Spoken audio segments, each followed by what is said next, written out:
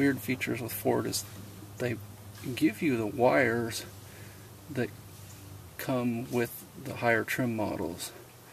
So even though you don't have the options installed, you have the wiring ready to go. A lot of times it's got power and everything. So I mean you just literally tap into it. And so like there you see there's a wire connector there. I'm guessing that's power for the dome light and things like that. And so if you're wanting to add auxiliary lighting that's tied to that, I just tap right into that right there.